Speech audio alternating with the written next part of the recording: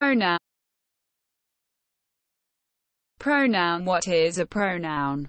How many types and what are they? All the words we use instead of nouns are pronouns or all e.g., it, he, she, we etc.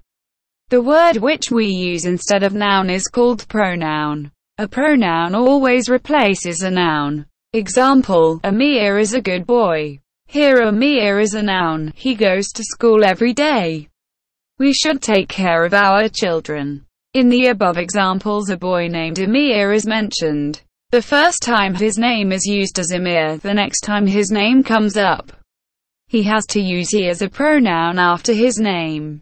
Similarly, pronouns are placed according to different types of nouns. Types There are several different kinds of pronouns.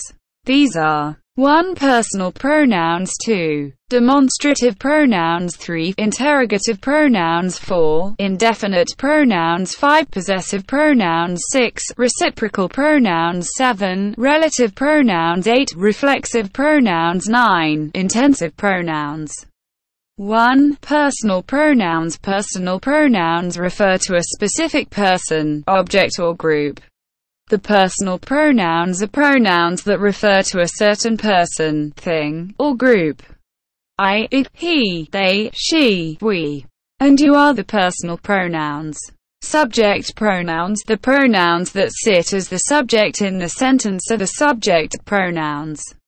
Subject pronouns I, we, he, she, they, it. I love banana. He and I had a deal. They should go for a study tour. Object pronouns. Object pronoun is the opposite of subject pronoun. Subject pronouns and object pronouns have different forms. Object pronouns are me, us, him, her, them, it. 2. Demonstrative pronouns. Demonstrative pronouns sit before the noun and specify the noun.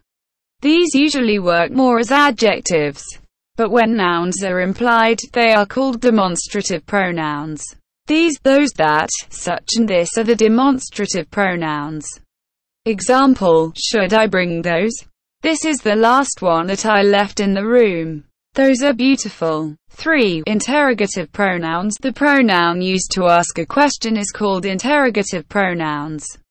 Interrogative pronouns are used to ask or make any questions. Who, which, when, what, whose are the interrogative pronouns. Example, who is your sister? Used to ask a question about people, what do you want for a meal? Used to ask a question about object, whom do you want?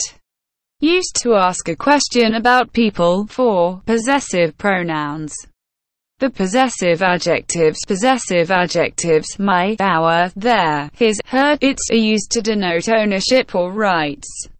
Example, have you brought your jacket? I didn't bring mine. My jacket, my book has been stolen by someone. Can I see yours? It is my dog, not his.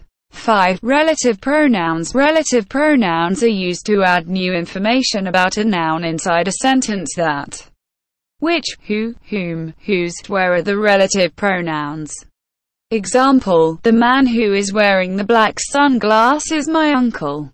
This is the place where I lived for two years.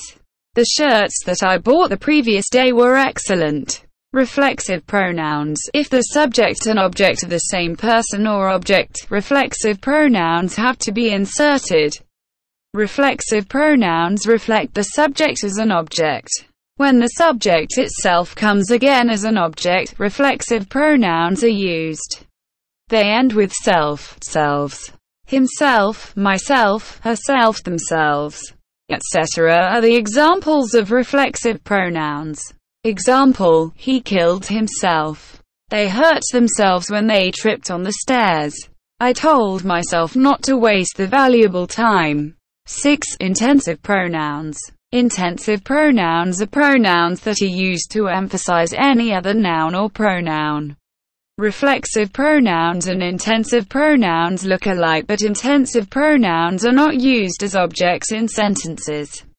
Intensive pronouns end in self, selves and refer back to another noun or pronoun to emphasize in the sentence. Example, Rahim opened the door himself. I wash my clothes myself. Published by Grammar Hub.